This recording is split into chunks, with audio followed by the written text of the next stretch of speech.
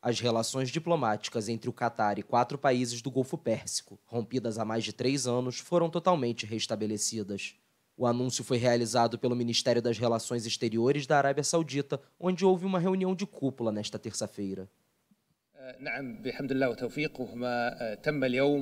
O que aconteceu hoje, graças à sabedoria dos membros do Conselho e de nossos irmãos egípcios, é o encerramento de todos os pontos de diferença e o retorno completo das relações diplomáticas, juntamente com tudo o que serve às relações entre os Estados-membros e o Egito também.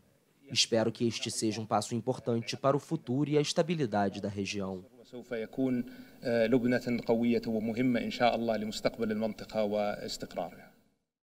O encontro reuniu líderes dos seis países do Conselho de Cooperação do Golfo Pérsico.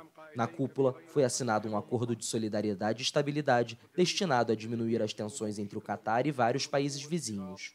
A Arábia Saudita, os Emirados Árabes Unidos, Bahrein e Egito romperam relações diplomáticas com o Catar em junho de 2017.